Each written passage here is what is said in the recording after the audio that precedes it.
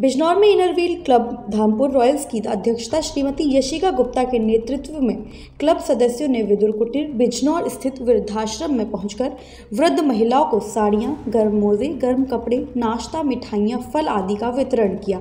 आपको बता दें कि क्लब से जुड़े सदस्य विदुर कुटीर बिजनौर स्थित वृद्धाश्रम में पहुँचे जहाँ पर उन्होंने वृद्धावस्था की आरंभिक शारीरिक परेशानियों को ध्यान में रखते हुए सर दर्द के लिए बाम, नजले के लिए विक्स, व विक्स इनहेलर, चोट के लिए बेटाडिन, रुई, पेट दर्द के लिए पोदीन, हरा गोली आदि दवाइयों का फ़र्स्ट एड बॉक्स का वितरण किया। इस अवसर पर श्रीमती योजना गुप्ता, क्लब की सचिव श्रीमती सरिता गोयल, कोष अध्यक्ष श्रीमती ज्योति अग्रवाल आईएसओ श्रीमती सोनिया कर्णवाल श्रीमती शालिनी मित्तल एवं श्रीमती शालिनी गुप्ता आदि सदस्य उपस्थित रहीं। तो ये थी बिजनौर से हमारे संवाददाता मोहम्मद शाकिर की रिपोर्ट। बाकी तमाम खबरों के लिए बने रहिए टुडे जुनून के साथ।